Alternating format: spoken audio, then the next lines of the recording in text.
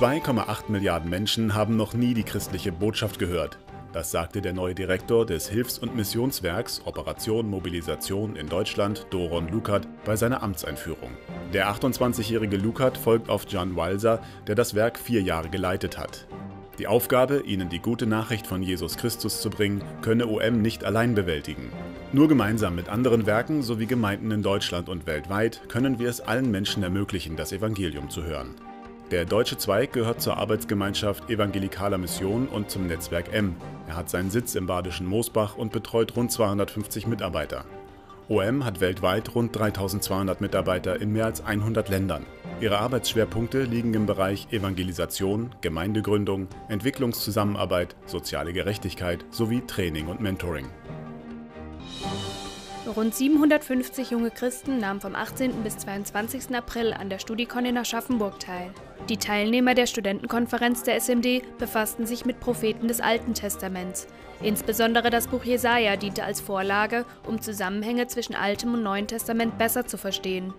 Hauptreferent der Konferenz war Timothy Gaddett, Professor für Neues Testament am Fresno Pacific University Biblical Seminary in Kalifornien. Seiner Meinung nach finden sich schon im Alten Testament Hinweise auf Jesus Christus. Das Alte Testament berichtet, wie Gott äh, immer wieder und unterschiedlicherweise eingreift, um die Welt zu retten und auch verspricht, eines Tages kommt Gott selbst, um die Welt zu retten. Als Jesus kam, behauptete er, er war die Erfüllung. Er bringt das alles in Erfüllung, was Gott versprochen hatte. Aber wie er es gemacht hat, das war nicht, wie viele erwarteten. Und die haben ihn deswegen abgelehnt. Viele davon haben ihn getötet. Und was ist dann die Auferstehung? Das ist die Bestätigung von Gott, Jesus hat tatsächlich seinen Auftrag erfüllt. Er hat das Alte Testament richtig gedeutet und gleichzeitig ist die Auferstehung der Anfang der neuen Schöpfung, die Gott versprochen hatte.